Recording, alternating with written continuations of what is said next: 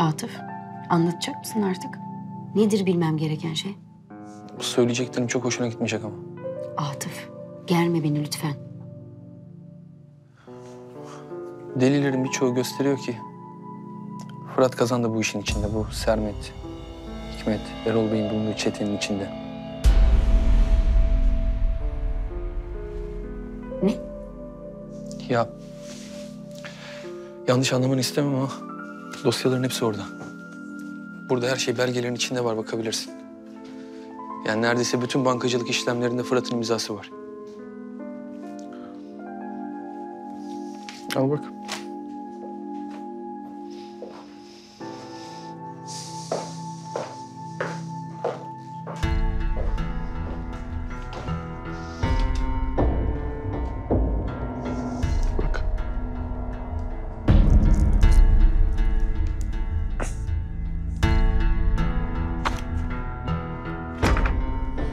Sen rahat rahat onlara bak. Ben biraz yatacağım.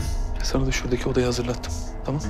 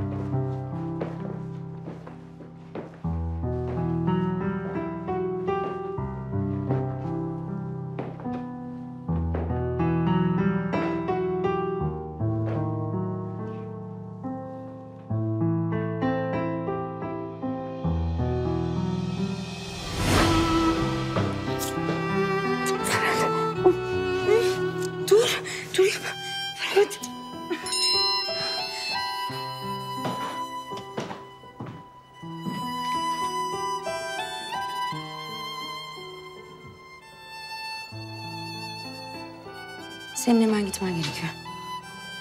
Neden? Ee, ba- babam geliyormuş, Ümmü mesaj attı. Sarhoşmuş falan işte benim ortalığı toplayacağım, çeki düzen vereceğim falan. Emin misin? Anlamadım. Nasıl bir soru bu şimdi?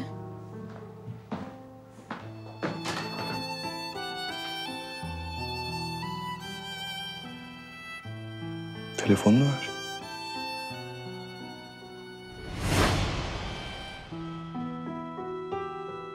Anlamalıydım. Her şey gözümün önündeydi.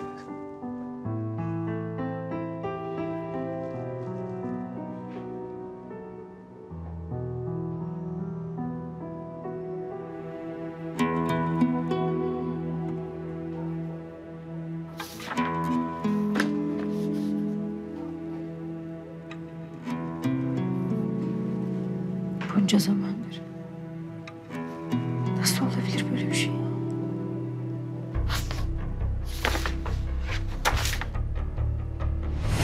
Dünyadaki en nefret edilen babanın bile bir krallığı vardır çocukların içinde. Başınıza nasıl bir iş aldığınızı gördünüz mü? Nasıl bir iş almışız abi? Sen düşün nasıl? Adam sana da kafayı takmış. Her an başına bir şey gelebilir. Bana bir şey yapamaz o, sen merak etme. Ben varken Narin'e de dokunamaz. Bence sen kolla kendini. Senin pisliklerden uzak durman konusunda kaç kere uyardım ben? Ha? Bak senin yüzünden gencecik bir çocuk hayatını kaybetti. Mutlu musun? Seni kim koruyacak bu saatten sonra? Kimsenin korumasına gerek yok. Polis hepsini içeri al. Prosedürler yerine gelince Erol'u da içeri alacaklar. Kimden korkmam gerekiyor? Senden mi? Tehdit mi ediyorsun beni? Narin görüyorsun şahitsin. Fırat Kazan beni bayağı ayaküstü tehdit ediyor.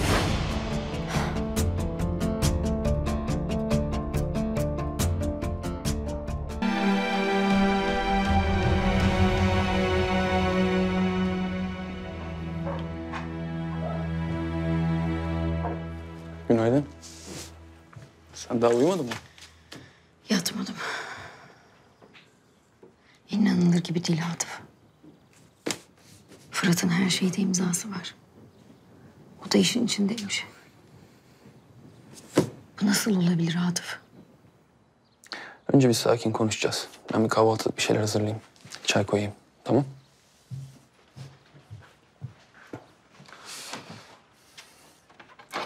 Narin. Sen bu adama 12 yaşından beri aşıksın değil mi? Bak şimdi ırmak da yok. Bu sayede denizde yaşayacağınız ilişki için herhangi bir engel olmaz. Nereye varmaya çalışıyorsun sen? Diyorum ki eğer istersen Fırat'ı pas geçebiliriz. Bu davada Fırat'ın adının olmasını istemiyorsan adı olmaz. Üç tane dosyayı yok etmemize bakar. Sonuçta sevdiğin adamı kendi ellerinden hapishaneye yollamanı istemem. Yani vereceğin karara saygı duyuyorum. Bu yüzden çağırdım seni. Kararı kendin vereceksin.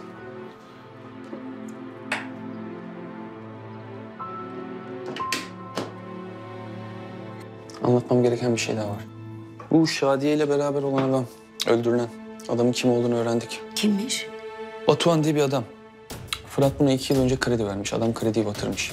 Krediyi batırınca da atmaya başlamış Fırat'a. Ortağım derim senin için. Seni de benimle beraber yakarım gibi şeyler söylemiş. Fırat tabii pabuç bırakmamış ama adam devam etmiş.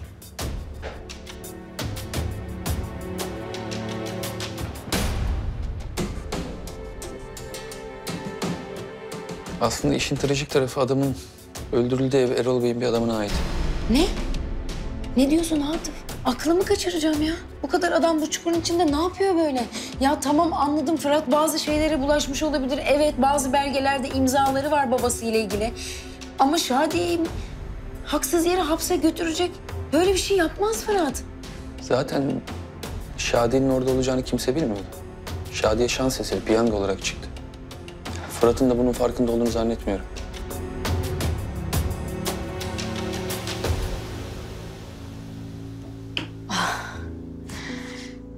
Ben gerçekten nefes alamıyorum artık.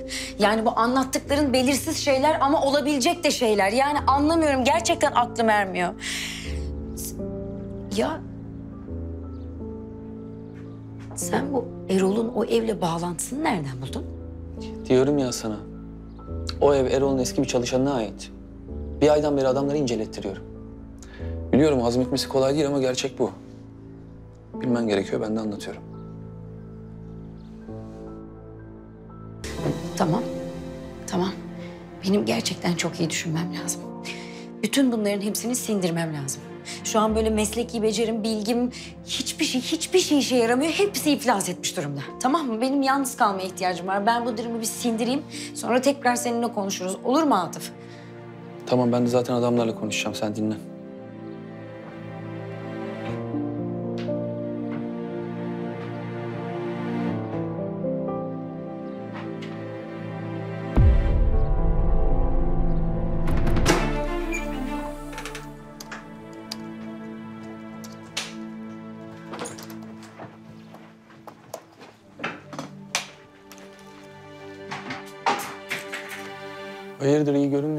Gidiyorum ben. Tatsız bir şeyler olmuştu kardeşlerimle ilgili. Bana gelmişlerdi anneleriyle. Öylece bırakıp geldim gideyim artık. Hayırdır, bir şey olmadı değil mi? Yo, işte tarih tekerrürden ibaret ediyor. Babam bize ne yaptıysa çocukluğumuzda şimdi aynısını onlar yapıyor. İyi ki sen varmışsın. Sen olmasaydın sizi babandan kim koruyacaktı acaba? Bu günlerim de o günlerimi aratmıyor zaten. Bana bak. Ben buradayım. Biliyorum bir sürü kötü şey oluyor ama el ele verip bunların hepsinden kurtulacağız. Şimdi bu dosyaların hepsini çok iyi bir savcı var ona yollayacağım. Tabii senin de Fırat'la ilgili kararını vermeni bekliyorum. Ne karar verirsen ver. Anlaştık karşılayacağım bil. Bir de sana yeni bir büro tuttum. Şu anda hazırlıyorlar. Gayet iyi koruyacaklar. Her şeyle ilgileniyorlar. Haberin olsun. Ben şu an bilmiyorum ne yapacağımı. Ama sonuçta çalışacaksın. Erol'la devam etmeyeceksin. Evet tamam çalışacağım ama evden de çalışabilirim. Bakarım yani duruma. Birkaç müvekkil bulurum falan filan. E o zaman bizim şirketin müvekkili... Hayır Atıf sizin şirkette çalışmak istemiyorum. Bulurum bir yolunu. Anladım. Okey. Bu konuda yardım istemeyeceksin. Tamam. Ya tabii ki yani zaten şok üstüne şok yaşıyorum günlerdir. Bir sürü şey oldu. Bu olan haricinde başka ne oldu?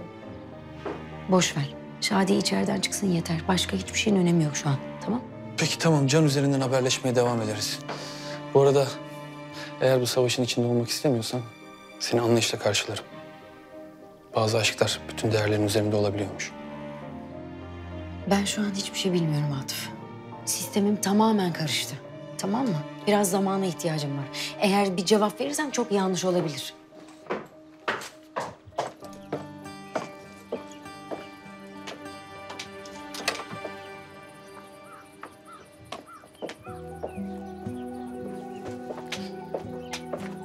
Narin. Bir şey olmuş. Bana anlatabilirsin istersen. Biz Fırat'la yeniden başlamıştık. Sevindim. O zaman Ama bir şey oldu. Yıllar önce neden ortadan kaybolup gittiğini anlattı bana her şeyi. O pislik babası yüzünden Sermet'le pazarlık yapıp beni gözden çıkardıklarını anlattı. Hikmet Kazan'ı korumak için benim hayatımı nasıl mahvettiklerini anlattı. Çünkü Hikmet Kazan Sermet'in annesini öldürmüş. Sonra da suçu Fırat'ın hasta annesi üzerine atmışlar. Sermet de bir şekilde susmayı kabul etmiş. Fırat hiçbir zaman benim yanıma yanaşmayacak. Sadece öyle sessiz kalırım demiş. çok vahşice be. Evet. Vay. Kafam o yüzden karışık bugünlerde zaten bir de. Yani sen böyle bir şey yapar mıydın? Silah darbeyi hapse yollar mıydın? Ben sevdiğime ihanet etmezdim. Zaten bu son olanlardan sonra böyle şeylere pabuç bırakmayacağımı anlamışsındır herhalde. Atıf, ben Fırat'ın beni sevmediği için terk ettiğini zannediyordum. Yıllarca böyle yaşadım. Neredeyse babasını korumak için gitti diye sevinecektim. Aşk böyle bir şey işte.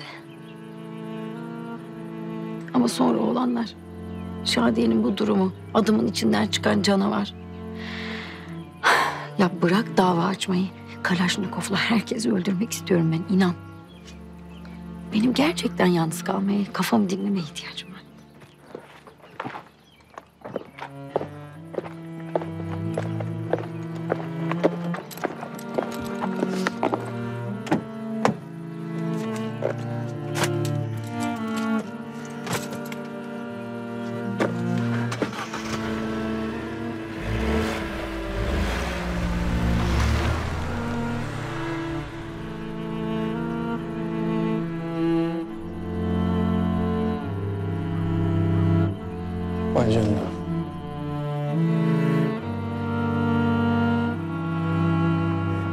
Bunu da mı yaşayacağız Fırat ya?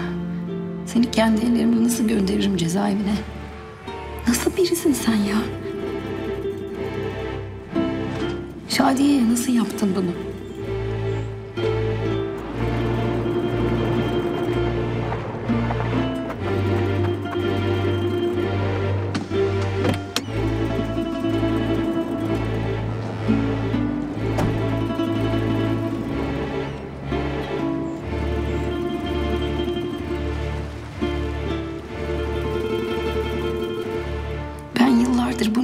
Tanığı oldum. Nasıl bu kadar gözlerim körmüş benim ya? Yok ya yapamam. Yapamam. Nasıl yaparım?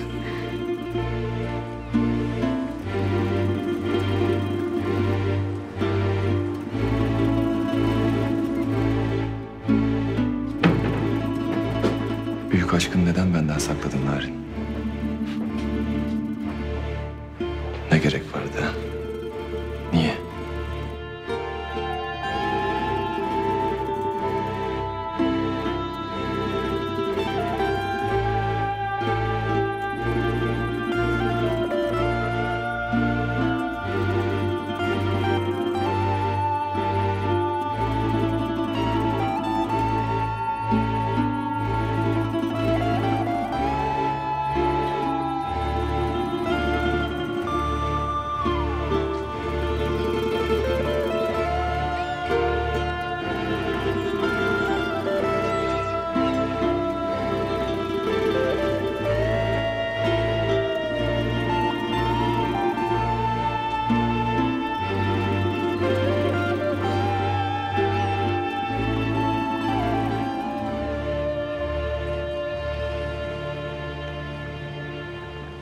Kanalımıza abone olarak tüm videolardan anında haberdar olabilirsiniz.